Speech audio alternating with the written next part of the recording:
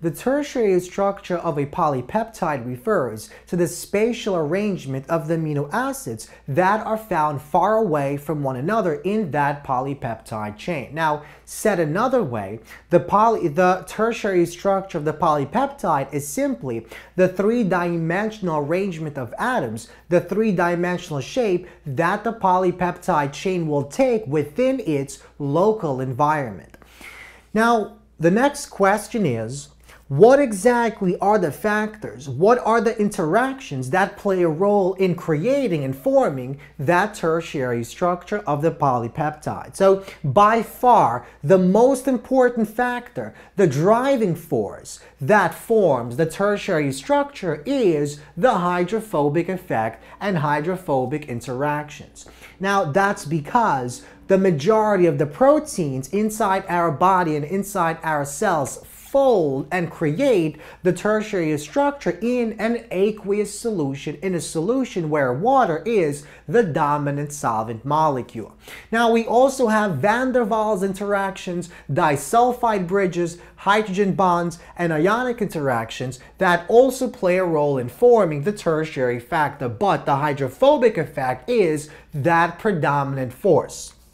So, as I mentioned earlier, most proteins exist in aqueous solutions and most proteins form in aqueous solutions. And what that basically means is we have the hydrophobic effect that takes place. So, remember what the hydrophobic effect tells us is if we take nonpolar molecules, hydrophobic molecules, and place them into a solution where water is that dominant molecule, because water is a polar molecule, what will happen is we'll find that those nonpolar molecules will basically aggregate together to form larger systems, larger chunks of nonpolar molecules. And that's because that system that is formed is thermodynamically stable. Now, what does that have to do with the folding of the proteins and the formation of the tertiary structure? So remember that proteins, our polypeptides, consist of 20 different types of amino acids. And these amino acids differ from one another based on their side chain group. So we have different types of side chains. We have nonpolar side chains, which are hydrophobic, and we also have polar side chains, which are hydrophilic. So it turns out if we take our polymer of amino acids, if we take the polypeptide and place it into an aqueous solution, the hydrophobic effect and hydrophobic interactions will take into effect. And what that means is all those amino acids that contain the nonpolar hydrophobic groups, for example, valine, alanine, leucine, isoleucine, methionine, tryptophan, phenylalanine, and so forth, all these different nonpolar side chains will end up aggregating together in the core at the center of that protein. While all those amino acids that contain the polar side chains, for example, lysine or arginine, aspartate, and so forth, all these charged and polar amino acids will be found on the surface of that protein. So this is what we mean by the hydrophobic effect essentially dictating the way that the tertiary structure is actually formed. So let's suppose, let's take a look at the following diagram. So in this diagram, we have our protein. So let's suppose that these red regions here are hydrophobic regions. So let's label these as hydro, uh, that is not spelled correctly. Uh, one moment. So we have So we have these hydrophobic red sections and these, uh, these blue sections here are hydrophilic. So remember, hydrophilic is water loving and hydrophobic is water hating. So what happens is when we place him into a solution that contains water as a solvent, so these are the water molecules here, these blue sections will tend to point on the surface, lie on the surface, while these red sections, these amino acids acids that contain hydrophobic uh, side chains will tend to aggregate at the center and form the core of that protein. So a protein in an aqueous environment will have a hydrophobic core and a hydrophilic surface.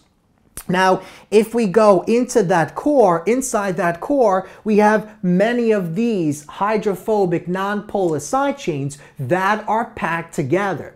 Now, what types of interactions will we find between those nonpolar side chains? Well, the interactions are known as London dispersion forces, also known as van der Waals interactions. And these are the interactions that exist between the instantaneous dipole on those nonpolar side chains.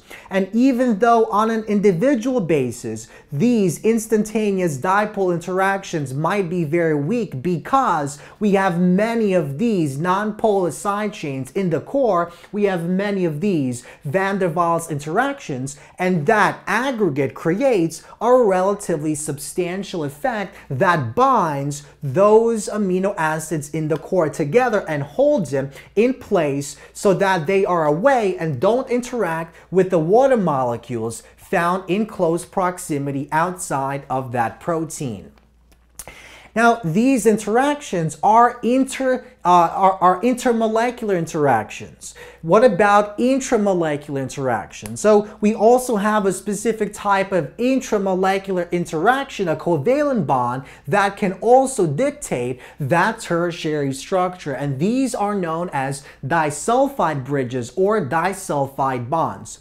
So it turns out that if we have two cysteine amino acids that are in close proximity, if an oxidation reaction takes place, we can form a covalent bond between our sulfur groups. So basically an oxidation reaction takes place. We take away this H atom, this H atom, we take away two electrons, and we form the following single covalent bond between the two sulfurs. And this is known as a disulfide bond or a, a, a, a disulfide bridge.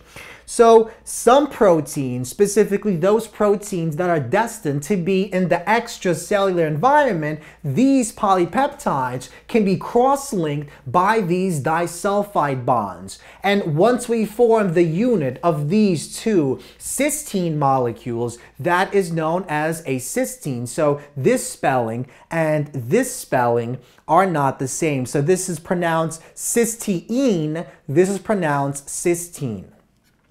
So we have the hydrophobic interactions that basically drive the formation of that tertiary structure. And then that hydrophobic core is held together by van der Waals interaction. And we can also have a special type of covalent bond known as the, dis uh, the disulfide bridge that also holds our structure together. So here we have one disulfide bond, a second disulfide bond, and a third disulfide bond between the, these cysteine amino acids. Now, we can also have hydro, uh, hydrogen bonds and we can have ionic interactions. Now, if we examine those polar molecules on the surface, the uh, side chains of those polar amino acids can basically interact and form hydrogen bonds with the water molecules that are found in close proximity and that can stabilize the structure, the tertiary structure of our polypeptide. And finally, we can also have ionic interactions. Now remember, certain amino acids contain side chains that carry a full charge. So some amino acids contain side chains that carry a positive charge. For example, lysine and arginine, these carry a full positive charge on their side chain. We also have acidic amino acids, and these are the amino acids that carry a full negative charge on their side chain. And so, for example, if we have the amino acid lysine that contains a positive charge on a side chain is in close proximity with our amino acid aspartate, which contains a full negative charge on that particular side chain. And, and, and if these two are close enough, they can form an ionic bond, and that ionic bond can also stabilize the tertiary structure of that polypeptide. So we conclude that the tertiary structure of that polypeptide, although it is affected by many different factors, the main driving force that leads to the formation of our tertiary structure of that polypeptide are these hydrophobic interactions. And that's because the majority of these proteins are folded in an aqueous solution, in a solution that contains water as that dominant solvent molecule.